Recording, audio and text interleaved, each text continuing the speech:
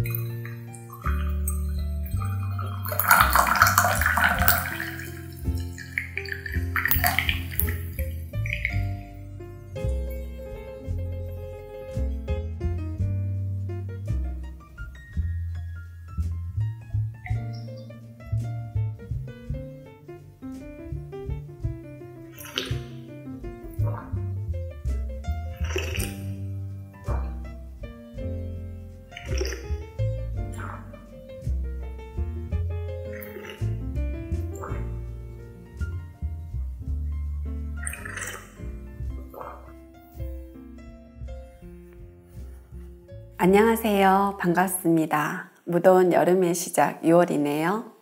저는 산골에서 자라서 그런지 몰라도 바다보다 푸른 산과 계곡을 더 많이 좋아하는데요. 크면서 어른이 되고 나이가 들어 보니까 내가 왜 산을 좋아하는지 알게 됐어요. 바로 나무 때문입니다. 그늘 중에 제일로 시원한 나무 그늘이 좋고요. 나무가 있는 산 위에서 부는 바람은 서늘해서 좋은 바람, 고마운 바람입니다. 예, 어릴 적 많이 부르던 동요에도 나오죠. 산 위에서 부는 바람, 서늘한 바람, 그 바람은 좋은 바람, 고마운 바람. 생각이 나서 잠시 불러보았습니다. 오늘은요, 나무 중에 아주 특별하고 우리에게 정말 고마운 차나무에 대해서 이야기해 보겠습니다.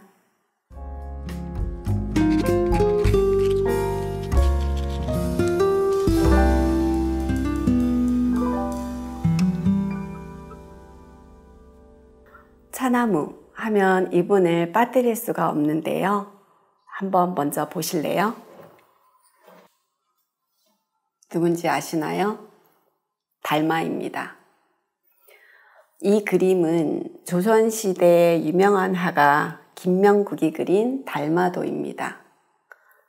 달마는요, 음, 인도 향지국의 왕자였습니다. 어, 6세기 초에 인도에서 중국으로 건너가 소림사에서 9년간의 면벽 수행을 하고 깨달음을 얻었다고 합니다. 당시엔 경전 중심의 교종불교였는데요. 이 달만인 자선 중심의 선정불교를 주장했습니다. 중국 선종불교의 시조인 셈이죠. 어느 날 평사시처럼 음, 달마가 자선 수행을 하고 있었는데 어, 수마가 몰려와서 수행에 방해가 되었다고 합니다. 그래서 자신의 눈꺼풀을 떼어버려서 뜰에 버렸다고 합니다. 어떤 일이 일어났을까요? 이튿날 그 눈꺼풀을 버린 뜰에는 나무 한 그루가 자랐다고 하는데요. 이것이 바로 차나무였다고 합니다. 차나무 기원사라 중 하나인데요. 좀 황당하죠. 하지만 차나무다운 의미 있는 설화입니다. 우리가 차를 마시면 음, 머리가 맑고 또 졸음을 쫓아주어서 수행에 도움이 될 수 있다는 것. 이것은 현대 과학적으로도 증명된 차의 효능과 부합되거든요. 혹 앞선 시간에 배운 차나무 학명 기억하시나요? 음, 뭐라고 했던가요? 네. 카멜리아 시넨시스. 더 정확하게는요. 카멜리아 시넨 시스 그리고 엘 오쿤츠 이게 속명이고요. 학명은 속명과 종명 그리고 명명자를 쓰는 이명법을 주로 쓰는데요. Camellia 동백나무란 뜻이고요. sinensis 중국의란 라틴어입니다. 그래서 중국의 동백나무란 뜻이고요. 이 L은 어, 스웨덴 식물학자 린네의 머리 글자인데요. 음, 차나무 학명을 처음으로 명명한 사람입니다. 그리고 오쿤추는 마지막 명명자이고요. 그럼 차나무 한번 볼까요? 첫 번째 사진 우리나라 차밭이고요. 경사지고 비탈진 곳이죠. 이 차밭의 차나무는 사람 키보다 작습니다.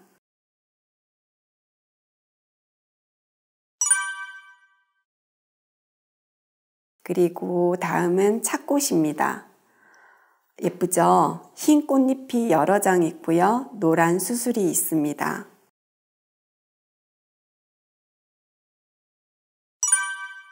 그리고 다음 사진. 굉장히 큰 나무가 하나 있는데요. 이 나무 역시 차나무입니다. 중국의 키 큰 고차수 차나무죠. 중국에는 차나무 수령이 아주 오래된 차나무가 있는데요. 가장 오래된 거는 수령이 2800년 된 것도 있고 비공식적으로는 3200년까지 되는 차나무도 있다고 합니다. 그리고 다음 사진. 이것은 차씨입니다. 차 열매인데요. 이게 좀 여물면 갈색빛으로 되고요. 여기에서 씨가 떨어져 나옵니다. 그럼 이제 차나무 특징을 한번 정리해 볼게요. 차나무, 차자, 남방지, 감옥야라. 이것은 차의 경전이라 할 수 있는 다경 일지원에 나오는 문장인데요. 차나무는 남쪽의 상서로운 나무이다 라는 뜻입니다. 차나무는 감옥이다 라고 했는데요. 여기에서 차자는 차나무를 의미하고요. 감옥이다 라고 했는데 이 가는 아름다운, 좋은, 훌륭한 이란 뜻이고요. 차를 진정 안다 그러면 차나무가 감옥이다. 동감하시는 부분이죠. 저 역시 동감합니다. 그리고 차나무가 남쪽에 남방이라고 얘기를 했는데요. 그것은 중국에 큰 강이 두 개가 있습니다. 황하강하고요. 양쯔강이 있는데 황하는 위쪽에 있고요. 양쯔강은 아래쪽 지방에 있는데 서에서 동으로 흐르고 있습니다. 많이 길기 때문에 장강이라고도 하는데요. 그 장강 이남 지방을 여기에서 남방이라고 한 거고요. 실제로 차나무는 음, 아열대성 식물입니다.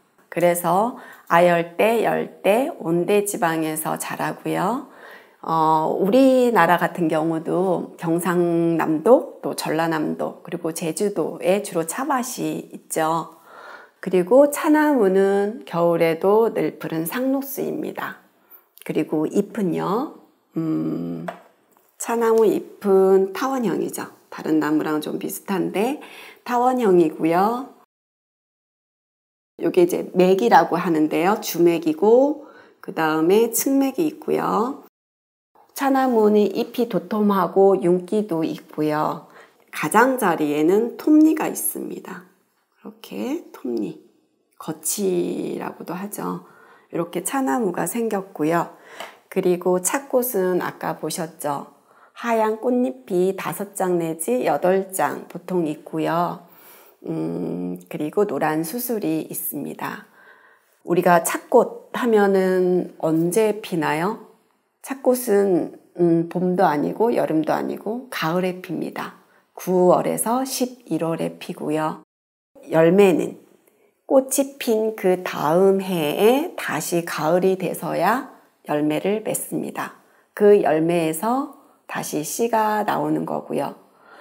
그러면 한 나무에 가을에 당에 핀 꽃과 그리고 열매가 만납니다. 그래서 우리는 차나무를 실화 상봉수라고 합니다. 한번 써볼까요?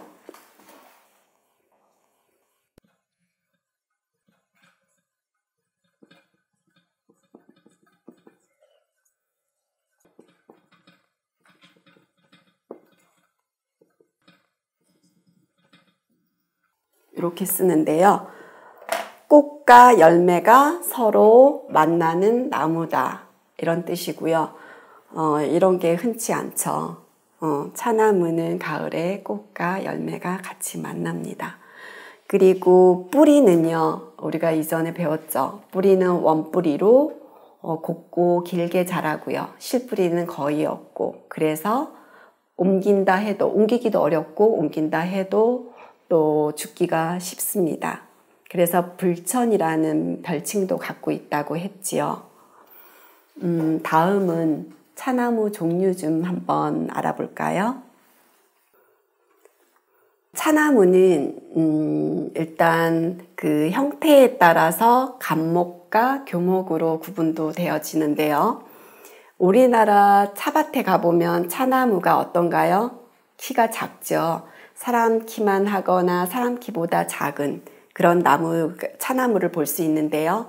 보통 우리나라 차밭에 있는 그런 차나무들은 감목의 차나무라고 볼 수 있고요. 아까 사진에서 봤던 키 큰 차나무, 음, 뭐, 음, 4m, 5m 이상 또는 뭐 7m 이상 또 아주 큰 차나무는 수십 미터까지 되는 차나무도 있다고 해요.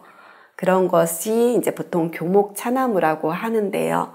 그리고 교목은 우리가 보통 나무랑 비슷하게 생겼어요. 이렇게 있으면 어, 줄기가 있고 밑에는 뿌리가 있겠고요. 그리고 위에는 이제 가지가 있죠. 그리고 잎이 있겠고요. 이것은 교목차나무고요. 이 주 줄기를 우리가 주간이라고 합니다. 주간. 주 줄기 주간이 뚜렷해요. 교목차나무는. 그런데 감목 같은 경우에는 어, 우리나라 차밭에 가보면 볼 수 있죠. 감목은 주 줄기가 뚜렷하지가 않아요. 어떤 걸 상상하냐면 개나리를 상상하시면 됩니다. 개나리는요, 이렇게 보면 어떤가요? 줄기가 여러 갈래로 이렇게 어, 되어 있어가지고 어떤 게 주 줄기인지 구분이 안 가요. 여기 잎이 달렸겠죠? 찻잎이 달렸고요. 이런 식으로 이렇게 돼가지고 주 줄기 뚜렷한 줄기를 알 수가 없어요. 요건 주간이 뚜렷하고요. 얘는 주간이 뚜렷하지가 않아요.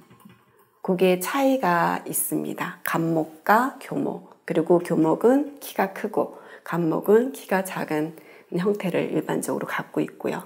그 다음에 또 구분될 수 있는 게 잎의 크기 등에 따라서 네 종류로 구분을 할 수가 있어요. 중국 대엽종, 중국 소엽종, 그리고 인도종, 샨종 이렇게 크게 네 개로 구분하는 경우가 많은데요. 이것은 잎의 크기라고 아까 말씀드렸는데 길이를 일단 보면은요. 중국 대엽종 같은 경우는 어른 손바닥만큼 커요. 그래서 길이가 13cm에서 15cm 정도 13cm에서 15cm 정도 되고요. 중국 소엽종은 우리나라 차밭에 있는 차나무가 주로 중국 소엽종이거든요. 어, 찻잎이 다 자라도 얼마나인가요? 엄지손가락만 해요. 그러면 중국 소엽종은 찻잎이 다 자라도 4 내지 5cm 그리고 인도종은 22 내지 뭐 30cm 아주 큰 거는 35cm까지도 있다고 하는데요. 이렇게 많이 크고요. 그리고 샨종 같은 경우도 이제 중국 대엽종이랑 비슷합니다. 그래서 길이가 한 15cm 정도 이렇게 되고요. 기후라든지 여러 가지 조건에 의해서 이렇게 찻잎이 크기라든지 이런 게 다른데요. 음, 중국 대엽종 같은 경우에 찻잎이 큰 거 같은 경우는 카테킨도 많고 또 쓰고 떫은 맛이 많아요. 그래서 주로 우리가 아, 차로서 먹을 때 발효차를 주로 쓰고요. 발효차 용도로 주로 씁니다. 발효차라고 하면은 이제 뭐 홍차도 있지만 흑차, 대표적으로 보이차가 있죠. 중국 대엽종으로 합니다. 중국 대엽족은 중국 운남성, 사천성, 호북성 이런 지역에 분포되어 있고요. 주로 우리나라를 비롯해서 또 일본 그리고 중국 동남부 쪽에 중국 소엽종이 많이 분포가 되어 있고요. 소엽종 같은 경우는 어, 주로 녹차 만들기에 적합합니다. 그래서 우리나라는 중국 소엽종이 많기 때문에 주로 녹차를 많이 만들죠. 그리고 인도종은 찻잎이 굉장히 크죠. 인도종은 인도 아쌈이나 뭐 매니푸르차 이런 지역, 지역에서 많이 분포하고 있고요.